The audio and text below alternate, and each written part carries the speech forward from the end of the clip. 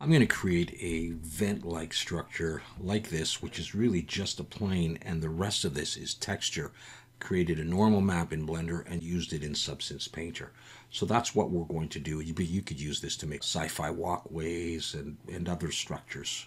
All right, so we're going to create a normal here in Blender, and what I'm going to do is I'm going to bring in a plane, first of all, rotate X90. We're going to create uh, just the, the plane that we're going to use for the vent itself. So let's say we wanted something, something like that. All right, so now I want to create the normal for the little slot like things. So the way I'm going to do that is I'm going to bring in another plane, rotate X90, scale it down, drag it up here and I'm going to put on a mirror grab these two points start pulling them to get a sense of this thing. Leave a little gap in the middle maybe scale it down a bit and get it something like that. Let's go ahead and put on an array and we're going to put that in the minus z direction.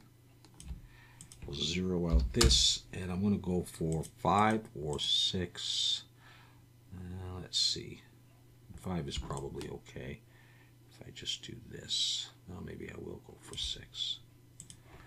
And I'm just going to take this and scale it in the Z a little bit and give myself a bit more room and just move these. That kind of a thing.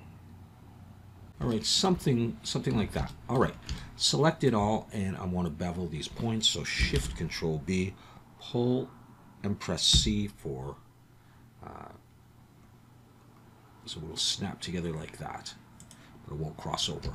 Select M, merge by distance, so that's good. Now we're going to take this, pull it out a little bit, and give it some depth by extruding it back. I'm going to, uh, let's get rid of, let's see, we'll get rid of that face right there, and we'll get rid of this front face, and of course it's just mirrored and arrayed, so it does it for all of them. Shift Alt and click that edge. Let's look from the front again we can turn on the cavity shader and we can actually hide hide that so let's grab that. And I'm going to take that I'm going to scale it in the X pull it in like this giving you know a little bit of room that way scale it in the Z. And I'm going to try to sort of match that sort of thickness all the way around.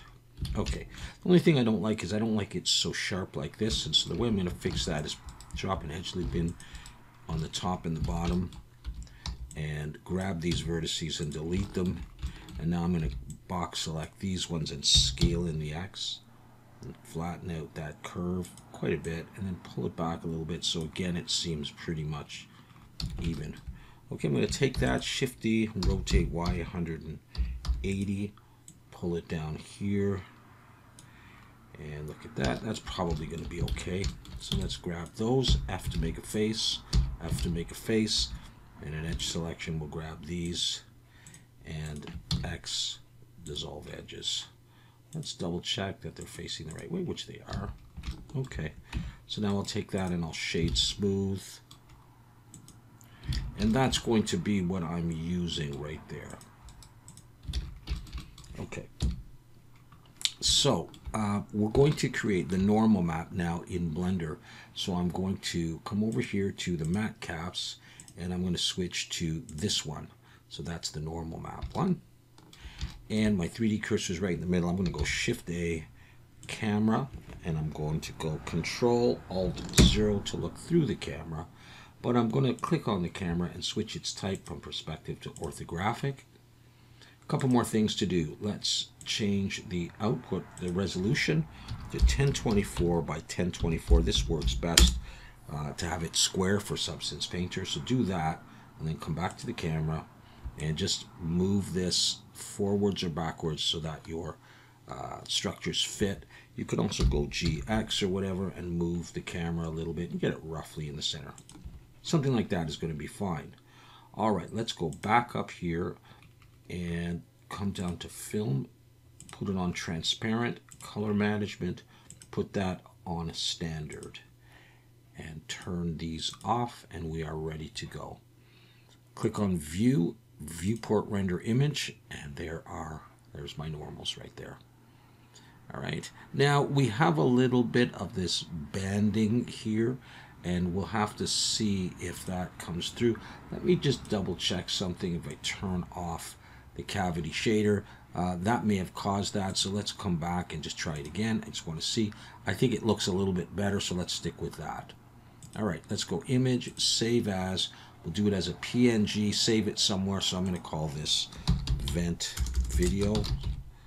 Vent video. I'm going to overwrite a previous one I tried to do and save. All right, so we've saved that. Obviously, you should save your scene as well. Let's come back here. Let's press zero to get out of the camera and come back to the studio. And let's bring back the plane. And all we need is just the plane itself. That's going to represent our actual vent. I'm going to come in here and press U, project from view, and then go to the UV editing window. Take this and we're going to maximize it. I'm going to pack it using UV Pack Master. You can use Blender. I just want it as big as possible.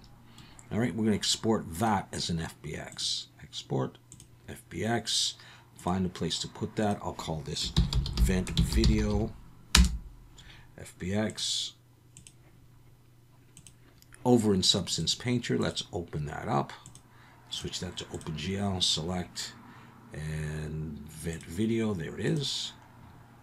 So it's just a plane, all right? So that's what we're going to use. Um, Substance Painter has already put in a default paint layer, and we can use that instead of deleting it. Scroll down, get rid of this soft alpha. We don't need it at all. Alt click on normal, so we only have normal, and then we're going to import import the vent video. There it is. I've done a bunch of these. The vent video normal that we created. Set it as a texture to your current session. And there it is. We're going to drag that over to the normal, and now that's our brush. It's not quite big enough, so I'm going to put it at about 190. Let's try 190. And that looks pretty good. So I'm going to try my best to center this up, and I'll go around there. All right, now I'm going to click that off and make my brush smaller. We can look at this. Now, when this comes in, it tends to come in flipped. The normals are flipped. And you'll see that uh, very clearly in a second. So to fix that, come to the layers. On the layer that you've just stamped that in, come to the magic wand, add levels, change this channel to normal, switch this to the green channel, and click invert and watch the vent. So you can see now that they're going in nicely. All right, so that's a quick fix for doing that. All right, so what we want to do now is to get this normal that we stamped on baked into the actual texture. So I'm going to come up here and I'm going to call this vent video. I'm going to give sort of a name to this texture. And we're going to export this and that will create a normal. In fact, we're only going to export the normal. I'm going to come up to export textures and in the output textures you can choose you know whatever you've got here but I've created one that's normal export the way I did that was I have my default PBR metallic roughness and it's got a normal channel in there click this to duplicate it it'll put it down at the bottom rename it and then just delete all the ones you don't want. So the ones I'm left with is this. Note that it's OpenGL. All right that's all I want because I'm going to be exporting this now. And uh, that's fine. And so I'm going to choose over here normal export there it is. And I'm going to put this on my desktop. And I'm just going to export at 8-bit PNG there it is just the one file I mean you can export a whole bunch and then just not use the others so just to double check that we've got that all right there it is that's what I'm going to that's what I'm going to be using so back into Substance Painter I'm going to import that one from my desktop. There it is. Again, import it as a texture to the current session. And there it is. What do I want to do with this? Come to your texture set settings, where your maps are that you normally would bake, and drag that into the normal map there. Now, get rid of this one. You've replaced it, so take that, you can just delete it. I've now got just a normal map, but I don't have the others, and I haven't baked. We're going to do that now Click on bake mesh maps. We switch this to something like 2K, but uncheck normal. You don't want to bake over the normal. You want to keep that. Uncheck ID and thickness because you don't need them. So we're going to bake all the other ones at 2K. All right, as you can see, you can see the impression of the normal in there. You may be able to see it in there. So you've now baked in that information uh, with the maps. So now I can come and I can take materials. For example, I'll take this aluminum, drag it in, and make a few adjustments to this. Maybe darken it up like that, and maybe a little bit less roughness or more roughness as it is. Uh, add a filter and put on your favorite filter, whatever that might be. So I'll use that one. Okay, so we're starting to get this the beginning of our uh, of our fence. All right, let's make it look a little bit better if we can. So what I'm going to do now is a matter of taste. I'm going to add a fill. I'm going to choose color. Uh, I'm going to leave roughness off for the moment. I'm going to choose a dark, almost black color, add a black mask, and then a generator. And this is why we baked in the normal so that the generators can work on this. And I'm going to choose a curvature. And then I'm going to play with these values a little bit. Bring the global blur up a little bit. What I really want to do is come into this curvature here and change the mode from edges to cavities and that'll start filling that in. So now I can bring that in. And you start to get the sense of darkness in behind there. Now I'm going to do a couple of things here. And uh, I'll come back to that roughness in a moment so you can play with these values. Generally you can use these ones but I probably don't need them. Probably more this one. Maybe I'll bring that up to about 0.8 and around there. Now, let's try adding another filter or a filter, gradient. All right, I'm going to switch this to pinch, and I like to play with this one, and you can start to get a sense of what it does here. Now, you may not see it too well, actually, but I like to, I, I sometimes like to put that on. Um, I'm going to go on and do something else. I'm going to add another fill layer, just color, a black mask, generator, but this time I'm going to choose the mask editor. Give it a second. And this is going to this is creating a little bit of white around here.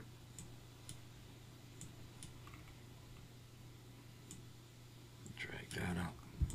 It's just sharpening it up so you so there's a little bit of white so you can really see that these are depressions. Okay, so you can play around with those. But I'm going to come back now here to this and I'm going to click on the roughness and let's watch this and see if there's any change. It's a little reflective right now, so if I drag it up, it's darker. And you get this kind of interesting white around there. And then you can come back and play with the curvature uh, actually, there's not much I want to change really in the curvature. You could try the gradient, see if that does anything. It will move it and get a position that you like. All right. Okay. So it's not overly 3D, but it, you know, depending on the lighting, if you had that as a sci-fi floor or a vent, it could, it could, you know, it could probably do the trick. And again, it's just a plane. I can add on anti-aliasing just to make it look a little bit better. And I'll just do a little bit more on this. All right, I'm not labeling any of these. Just a another paint layer, and I'm going to alt-click color and height, change the color to a dark, almost black, drop the height down to maybe halfway or so, and come to my alphas. I'm going to search for circle. I'm going to take this double circle and I'm going to increase this a little bit decrease the size let's just get in here and see what it's like yeah I like that so I'm going to turn on symmetry and click here and click here good I'm going to turn off symmetry and with those same values although maybe actually the height is a little bit much uh, because it's a paint layer all I have to do is change this it won't change the rest I'll just bring it to about maybe there. Come to my alphas again, font. Choose a font like this one and I'm going to type in something like vent 01-B. I don't know what that means. Just to get some text on there and check it out. Okay, do that. And let's increase that. I need to decrease the size so that it fits in there. Where is that size? There it is. So it fits in my brush. I'll increase that. I'll just click down there somewhere. Now we have some text in there. All right, so there is our stuff. At this point, we would have to export those textures. Just make sure you don't export just the normal, you know, the you need all of the maps. All right, so there's our vent. Okay, thanks for watching.